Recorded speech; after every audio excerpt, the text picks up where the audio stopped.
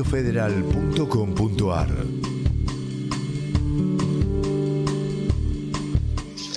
¿Qué tal? Muy buenos días. Bienvenidos a este reporte federal del día 15 de septiembre. Hoy, Día Mundial de la Democracia y Día Mundial también de la lucha contra el linfoma.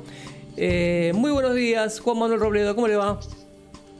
Muy buenos días, Marcelo Herrera, gusto de saludarte como siempre. A las 10 y 2 minutos la temperatura en este momento es de 12 grados. Máxima para hoy, 19 con el cielo algo nublado y comenzamos con la lectura de las principales portadas. Tenemos que ir directamente al diario regional de aquí de la ciudad de Pilar, que en su edición impresa tiene en la parte superior, en noviembre Elías Aedo formará parte del regreso del China Maidana.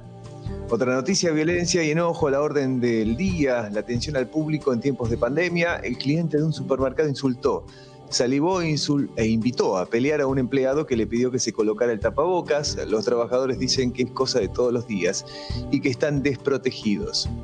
Fondo negro, letras blancas y la foto de Diego Ranielli. Ranielli pidió una gran autocrítica y cambio de dirigentes para construir el espacio de la oposición. Debajo, otra noticia más, eh, donde se lo ve un arquero eh, estirándose para atajar una pelota. Levanta vuelo el pilarense Federico Lozas, volvió a los entrenamientos presenciales con Chacarita. Es un plantel que apuesta a las inferiores, aspira a lograr protagonismo y otra noticia que se habló durante toda la jornada de ayer y hoy, Falabella en crisis por la pandemia, cierra su local en el TOM, ofrece retiros voluntarios y reubicaciones, así titula el diario regional de Pilar. Muy bien, pasamos a Diario Crónica. En la parte superior dice, ¿creen que la Argentina es un país para pocos? Retruque retruque a Macri y ayuda a la construcción. Este, bueno, al lanzar una ampliación del programa de precios cuidados, Alberto Fernández se diferenció de su antecesor. No queremos multiplicar la estafa que vivimos los últimos cuatro años, dijo.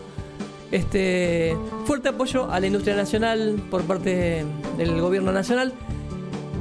Como nota central de crónica, lamentablemente, ¿no?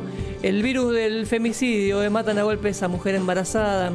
Micaela Salazar, de 27 años, fue brutalmente asesinada en la ciudad bonaerense de 9 de julio. Detuvieron a su pareja, un boxeador amateur que tendría dos denuncias por violencia de género. El número del terror, ¿eh? una víctima cada 29 horas en lo que va del año. En la parte inferior, buenas noticias para River y Boca. ¿eh? Viajan todos. El plantel Millonario no registró nuevos contagios, por lo que eh, Gallardo ya tiene el equipo para la Libertadores. Ruso, pese a que varios jugadores siguen dando positivo, recibió el visto bueno de la Conmebol para que igual ingresen a Paraguay. en el margen derecho, Crónica nos dice, picada mortal es que paguen y se haga justicia. Esto es por una marcha y reclamo por Tayel, el pequeño de 6 años que perdió la vida tras ser atropellado en la vereda ya hay dos detenidos en este caso. Eh, bueno, incidentes en el zoológico de Luján, clausurado. ¿eh? El gobierno provincial cerró el lugar por maltrato a animales, hubo choques entre los empleados y ambientalistas. Bueno, más abajo descubren un gas presente en la Tierra en Venus. ¿eh? Posible indicios de, vida en Venus. Este, uno de los temas también que en estas horas está en muchos de los titulares de los diarios. Pasamos a Clarín, que tiene Araiz Sushain, en medio siglo juntos, el coreógrafo y la artista plástica y vestuarista celebran 50 años de amistad y trabajo en común. Al lado otra noticia, vuelve la Libertadores y el jueves los argentinos, es después de seis meses, con protocolos muy estrictos debajo Falabella no ve salida a la crisis económica y se va de la Argentina, incluye a Sodimac y tiene 4.500 empleados. Al lado noticia al margen, tensión en aumento. Fernández cruzó a Macri por la carta y la reta fue respaldado por Cambiemos. Protesta por una muerte que indigna. Sin consuelo en medio del dolor y la conmoción hubo incidentes con la policía. Los vecinos de la Ferrere invitaron a cortar la ruta 21 por varias horas para pedir justicia por Tayel Contreras, el nene de 6 años, domingo atropellado en medio de una picada. Otra noticia, ciudad y conurbano cada vez más quejas por el mal olor y sabor del agua. Otra noticia al margen, déficit multimillonario. La CGT pide una ayuda excepcional por el rojo de las obras sociales. Otra noticia, la NASA destacó el hallazgo, detectan posibles rastros de vida en Venus. La ilustración, así se verán las moléculas. Y la nota del editor Gonzalo Bascal, Alberto Tinelli y el fascismo de parar la pelota. Los títulos a las 17 del diario Clarín. Muy bien, rápidamente pasamos por el titular de El Cronista Comercial que dice expectativa por las definiciones fiscales. El presupuesto 2021 llega hoy al Congreso con metas optimistas sobre inflación y suba de dólar. Para la nación, los títulos más importantes son el gobierno intenta blindar por ley el recorte a la ciudad, enviarán un proyecto al Congreso en busca del apoyo político y de restarle fuerzas al reclamo judicial de la reta. Falabella se suma a la lista de empresas que se van del país y como les decía, una foto del planeta Venus. Hay vida en Venus, dice la Nación. Descubren en las nubes posibles indicios de vida. Por último, el periódico deportivo Olé. En la parte superior, bueno, en la mm, vida de Racing Club dice Rojas es una duda en Racing ¿eh? versus Nacional. Este jueves a las 17 horas es el partido este, en Paraguay, ¿no? O con Nacional de Uruguay. Nacional de Uruguay me parece. De Uruguay, bueno.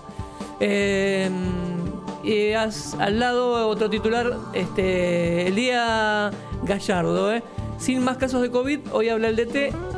Testeos 100% negativos. Informe especial de Olé, su lugar en los clubes, el avance de género en las instituciones según mujeres que son referentes por último, habilitados, onda positiva por el lado de Boca Junior, la sonrisa de Tevez, este permiso para, para los curados. Paraguay deja a los que son aún positivos, pero ya no contagian, entrar al país y jugar en el partido Boca Libertad este jueves también 17, ¿no? Este jueves a las 22, si no me equivoco, juega Boca este, y River antes, seguramente, a las 19. Bueno, estos fueron los titulares de, los principales, de las principales portadas ¿eh? en los diarios del país. A las 19, esta es la imagen que le he traído en el día, en un día soleado. Fíjense cómo se disputan por un almohadón.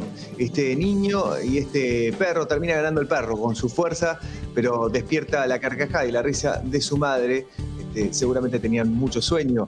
Les contamos que la temperatura en este momento es de 12 grados, máxima para hoy 19, cielo algo nublado.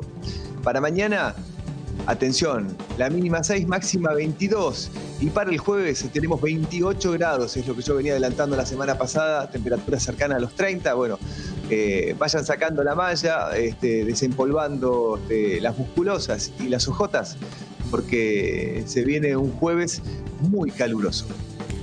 Bueno, muy bien. Hoy es el Día Internacional de la Democracia. Desde el año 2007 se celebra. Este, la Asamblea General de las Naciones Unidas proclamó la fecha como jornada conmemorativa de los derechos humanos y las libertades fundamentales del ciudadano. También es el Día Mundial de la Lucha contra el Linfoma. Y tenemos algunos efemérides este, sabrosos, digamos. En 1869 1869, se llevó a cabo el primer censo nacional que duró tres días, hasta el día 17. Eh, bajo la presidencia de Domingo Faustino Sarmiento, en ese entonces Buenos Aires tenía una población de casi medio millón de habitantes, Córdoba 210.000, por ejemplo, Santiago del Estero 132.000, Corrientes 129.000 habitantes. Un día como hoy de 1914 nacía Adolfo Bioy Casares, escritor argentino, uno de los más grandes referentes de la literatura del siglo XX. Nace también en 1923 en Morón, Hamlet Lima Quintana, poeta, escritor, autor de Samba para no morir, por ejemplo.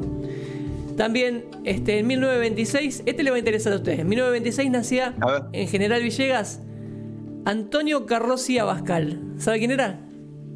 No tengo idea, pero. Tony Carrizo. Usted me dijo que me interesa. Tony Carrizo. Ah, mirá vos. Nacía Tony, Tony Carrizo, Carrizo. creador de La vida y el canto. Qué grande. Qué grande. Bueno, estos son algunos de los efemérides que pueden encontrar en la página de Facebook de Radio Federal. Sí, señor, este, vamos a rectificar la información que usted me preguntaba de la Copa Libertadores. El jueves tenemos los partidos de los equipos argentinos. Racing juega con Nacional, pero juega en, en- en el estadio, en el cilindro de Avellaneda. Ah, Boca juega en Paraguay contra Libertad a las 9. Racing juega a las 5 de la tarde, este, como para ir este, amenizando este, y, adelantando un poco cómo se viene la Copa Libertadores, pero para eso, para el debut de los equipos argentinos falta. Para empacharse de fútbol. Bueno, no, Para de fútbol. nos despedimos con un clásico este, de la música este, rioplatense. La comparsita. Digo rioplatense porque el autor, Gerardo Mato Rodríguez, era uruguayo, ¿no? Eh, Claro, señor. un trío de guitarras. Pelusa Tacunau. Pilín Maceis, Mauro Cagiano. Con esto nos despedimos hasta mañana. Hasta mañana, Marce. Buena jornada. Buena jornada.